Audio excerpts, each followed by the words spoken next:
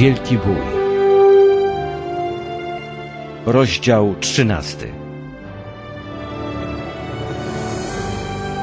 Niderlandy i Skandynawia w zasięgu reformacji. W Niderlandach papieska tyrania wcześniej wywołała zdecydowany sprzeciw. Już na 700 lat przed wystąpieniem Lutra papież został odważnie skrytykowany przez dwóch tamtejszych biskupów, którzy posłani jako ambasadorzy do Rzymu poznali prawdziwy charakter świętej stolicy. Cytat. Bóg uczynił dla swej oblubienicy i królowej Kościół jako szlachetne i wieczne postanowienie dla jej rodziny i dał jej posąg, który nie przemija ani nie ulega zniszczeniu oraz wieczną koronę i berło. Wszystkie te dobrodziejstwa ty, rzymski biskupie, jak złodziej zatrzymałeś dla siebie. Zasiadłeś w świątyni Bożej jako Bóg, zamiast pasterzem stałeś się wilkiem dla owiec. Chcesz, abyśmy uznali ciebie za arcykapłana, ale postępujesz bardziej jak tyran. Zamiast być sługą sług, jak siebie nazywasz, pragniesz być panem panów. Gardzisz przykazaniami bożymi. Budowniczym kościoła aż po krańce ziemi jest Duch Święty. Miasto naszego Boga, którego jesteśmy obywatelami, sięga aż do nieba i jest większe od miasta nazwanego przez świętych proroków Babilonem, które twierdzi, że jest boskie, wznosi się do nieba oraz przechwala się, iż jest nieśmiertelne i że nigdy nie błądzi i błądzić nie może. Koniec cytatu. W każdym stuleciu powstawali inni, by powtórzyć ten protest, a pierwsi nauczyciele, którzy na wzór misjonarzy Waldensów przemierzali wiele krajów, przybierając różne imiona i głosząc wszędzie Ewangelię, dotarli także do Niderlandów. Szybko szerzyły się ich nauki. Przetłumaczyli także na język holenderski Biblię Waldensów. Oświadczyli, iż jest w niej wiele dobrego, bowiem nie ma tam żadnych żartów ani baśni, żadnych głupstw ani oszustw, lecz same słowa prawdy. Wprawdzie tu i tam znajduje się twarda skorupa, ale mimo wszystko łatwo jest odnaleźć jądro i słodycz tego, co dobre i święte. Tak w XII wieku pisali zwolennicy pierwotnej, czystej wiary. Rozpoczęły się papieskie prześladowania, ale wierzących wciąż przybywało. Mimo płonących stosów i tortur stanowczo głosili oni, że Biblia jest jedynym nieomylnym autorytetem w sprawach religii i że nikogo nie wolno zmuszać do wiary, lecz należy go pozyskać głoszeniem. Nauki Lutra znalazły w Niderlandach podatny grunt i pojawili się gorliwi ludzie głoszący Ewangelię. Jednym z nich, pochodzącym z pewnej prowincji Holandii, był Menno Simons. Wychowany w duchu rzymskokatolickim i przeznaczony do stanu kapłańskiego, nie znał Biblii, a bojąc się zejścia na manowce herezji, nie próbował jej nawet czytać. Gdy ogarnęły go wątpliwości co do nauki o przeistoczeniu, potraktował je jako pokusę szatana i szukał ucieczki w modlitwie oraz spowiedzi niestety na próżno. Oddał się więc różnym uciechom, by zagłuszyć głos sumienia, ale i to nie pomagało.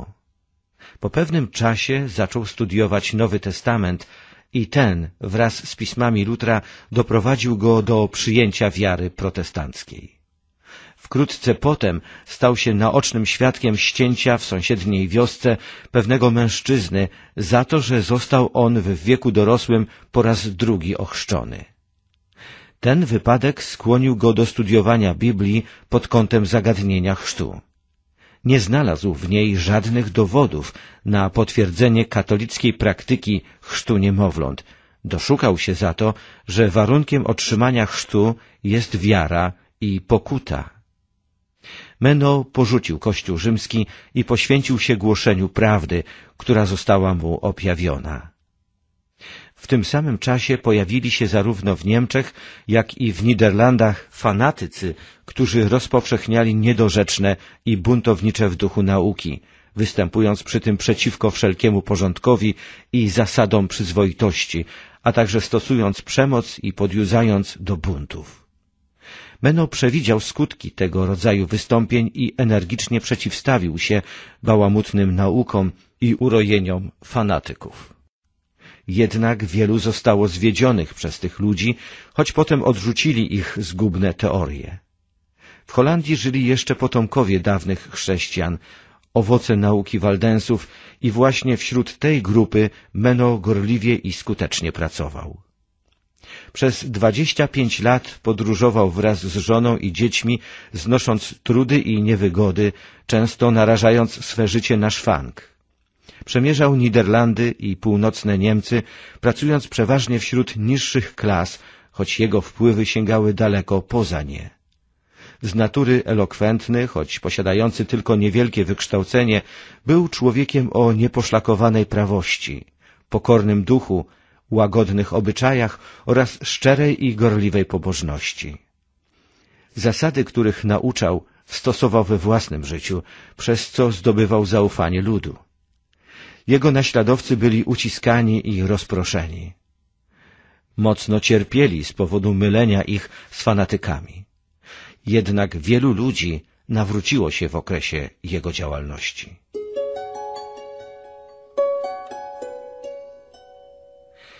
Nauki reformacji nigdzie nie zostały tak szeroko przyjęte jak w Niderlandach i w niewielu krajach ich zwolennicy doznali tak strasznych prześladowań jak właśnie tutaj. W Niemczech Karol V zakazał głoszenia nowych nauk i chętnie widziałby wszystkich ich wyznawców na stosie, ale książęta swym śmiałym wystąpieniem pohamowali króla. W Niderlandach jego władza była większa, a edykty prześladujące protestantów ukazywały się jeden po drugim. Czytanie Biblii, jak również jej głoszenie, a nawet rozmawianie na jej temat było karane śmiercią na stosie. Modlenie się w ukryciu, wstrzymywanie się od składania czci świętym obrazom, a także śpiewanie psalmów również podlegało karze śmierci. Nawet ci, którzy wyrzekli się swej wiary, także ginęli. Mężczyzn zabijano mieczem, a kobiety żywcem zakopywano. Tysiące traciły życie za rządów Karola V i Filipa II. Pewnego razu postawiono przed inkwizytorami całą rodzinę, oskarżono o nieobecność na mszy i odprawianie nabożeństwa w domu. Gdy spytano najmłodszego syna o religijne praktyki rodziny, chłopiec odpowiedział Klękamy i modlimy się, żeby Bóg oświecił nasze umysły i chciał przebaczyć nam grzechy. Modlimy się za naszego panującego księcia, aby jego rządy były pomyślne, a życie szczęśliwe. Modlimy się za nasze władze miejskie, ażeby je Bóg ochraniał. Niektórzy z sędziów byli głęboko wzruszeni, a jednak ojciec i jeden z synów zostali spaleni na stosie. Wściekłość prześladowców równoważona była wiarą męczenników. Nie tylko mężczyźni, ale także kobiety i młode dziewczęta odznaczały się niewzruszoną odwagą. Żony stawały obok stosów, na których paleni byli ich mężowie i gdy ci ginęli w płomieniach, szeptały im słowa pociechy albo śpiewały psalmy, by dodać męczennikom otuchy. Dziewczęta kładły się do grobów, jakby szły do swej sypialni na nocny spoczynek. W najpiękniejszych strojach szły na szafot albo w płomienie, jak na uroczystość ślubną.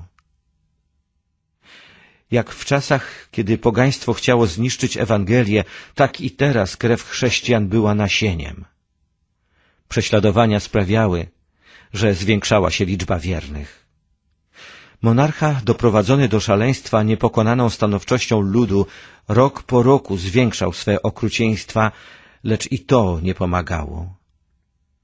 Za czasów Wilhelma Orańskiego rewolucja przyniosła wreszcie Holandii wolność wyznania.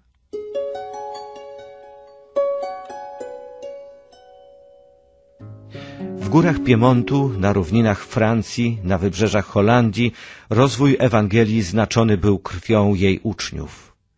Natomiast do krajów Europy Północnej Słowo Boże znalazło pokojowy wstęp.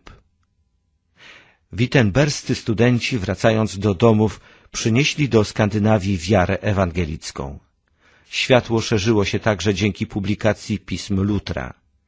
Prosty i wytrzymały lud północy odwrócił się od zepsucia, wystawności i zabobonów Rzymu, aby powitać czystość, prostotę i życiodajne prawdy Biblii. Tausen, reformator duński, był synem rolnika. Od wczesnych lat chłopiec odznaczał się bystrym umysłem. Pragnął kształcić się, ale nie pozwalały mu na to warunki materialne rodziców, wstąpił więc do klasztoru. Tutaj pilność i uczciwość zyskały mu łaskę przeora. Zauważono, że posiada zdolności, które mogą się w przyszłości przysłużyć Kościołowi. Postanowiono więc kształcić go w jednym z uniwersytetów Niemiec lub Niderlandów. Młodemu studentowi pozwolono samemu wybrać uczelnię, z zastrzeżeniem jednak, że nie pojedzie do Wittenbergi. Zakonnicy tłumaczyli to tym, że uczeń przygotowujący się do służby w kościele nie może być narażony na zgubne wpływy herezji. Tausen wybrał kolonię, która była wówczas jedną z najmocniejszych twierdz papizmu. Wkrótce mistycyzm uczonych zaczął w nim budzić odrazę.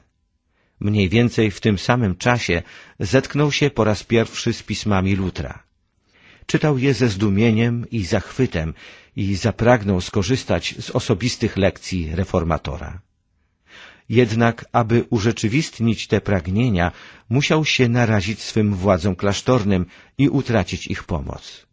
Wkrótce powziął decyzję i po niedługim czasie został studentem w Wittenberdze. Po powrocie do Danii udał się do swego klasztoru. Nikt jeszcze nie podejrzewał go o luteranizm. Nie zdradził swej tajemnicy, bowiem postanowił bez wzbudzania podejrzeń u zakonnej braci przyprowadzić ich do czystej wiary i świętszego życia. Otworzył przed nimi Biblię, wyjaśnił jej prawdziwy sens, a w końcu zaczął głosić o Chrystusie, będącym sprawiedliwością grzesznika i jedyną nadzieją zbawienia. Gniew przeora, który Stausena miał nadzieję uczynić dzielnego obrońcę Rzymu, był ogromny, gdy dowiedział się o wszystkim. Bezzwłocznie przeniesiono młodego zakonnika do innego klasztoru i tam oddano pod surowy nadzór. Ku przerażeniu jego nowych opiekunów kilku mnichów opowiedziało się wkrótce za protestantyzmem. Okazało się, że przez kraty swojej celi Tausen zapoznał swych towarzyszy z prawdą. Gdyby duńskim ojcom zakonnym znane były sposoby, jakimi posługiwał się Kościół w stosunku do heretyków, nie usłyszano by więcej głosu Tausena. Zamiast zabić go w jakimś podziemnym lochu, wygnano go z klasztoru. Odtąd papiści byli już bezsilni. Wydano właśnie edykt królewski, który brał w opiekę głosicieli nowej nauki. Tausen zaczął więc wygłaszać kazania. Udostępniono mu kościoły, a ludzie tłumnie gromadzili się, by go słuchać. Inni również głosili Słowo Boże. Nowy Testament, przetłumaczony już w tym czasie na język duński, stawał się coraz bardziej popularny. Wysiłki papistów zmierzające do zniszczenia tego dzieła rozwijały je jeszcze bardziej i wkrótce Dania ogłosiła przyjęcie zreformowanej wiary.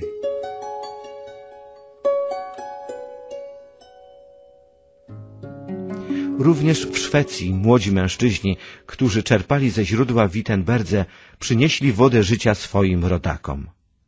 Dwaj pierwsi przywódcy szwedzkiej reformacji, Olaf i Laurencjusz Petri, synowie Kowala z Orebo, studiowali u Lutra i Melanchtona i gorliwie nauczali prawdy, jaką poznali. Olaf, podobnie jak wielki reformator, zdobył posłuch u ludu dzięki swej gorliwości i elokwencji, podczas gdy Laurencjusz, tak jak Melanchthon, posiadał większą wiedzę, rozwagę i spokój. Obu cechowała gorliwa pobożność, wybitna wiedza teologiczna oraz niewzruszona odwaga w szerzeniu prawdy.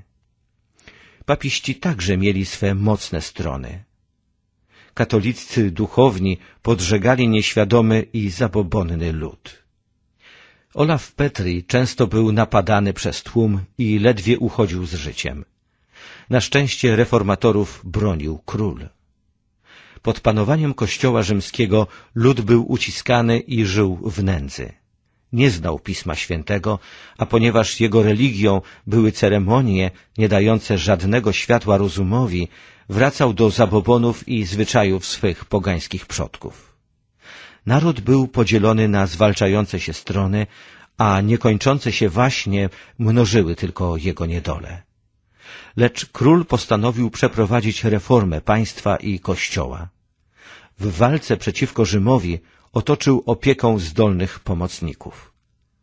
W obecności monarchy i czołowych osobistości Szwecji Olaf Petri zręcznie bronił nauk zreformowanej wiary przed atakami papistów. Stwierdził, że doktryny ojców Kościoła mogą być tylko wtedy zaakceptowane, gdy zgadzają się z Biblią. Natomiast istotne zasady wiary przedstawione są w Piśmie Świętym w sposób tak jasny i wyraźny, że wszyscy ludzie mogą je zrozumieć. Chrystus powiedział, nauka moja nie jest moją, lecz tego, który mnie posłał. Jak czytamy w Ewangelii Jana w siódmym rozdziale i szesnastym wierszu. Apostoł Paweł oświadczył, że w przypadku, gdyby głosił inną Ewangelię niż tę, którą otrzymał, niech będzie przeklęty, jak czytamy w liście do Galacjan w pierwszym rozdziale i ósmym wierszu. Jakże więc, mówił reformator, inni ośmielają się ustanawiać nauki i narzucać je jako konieczne do zbawienia? Wykazał, że zarządzenia Kościoła nie są żadnym autorytetem, jeżeli są sprzeczne z przykazaniami Boga i podniósł do wysokiej rangi protestancką zasadę, że Biblia i tylko Biblia jest wytyczną wiary oraz życia.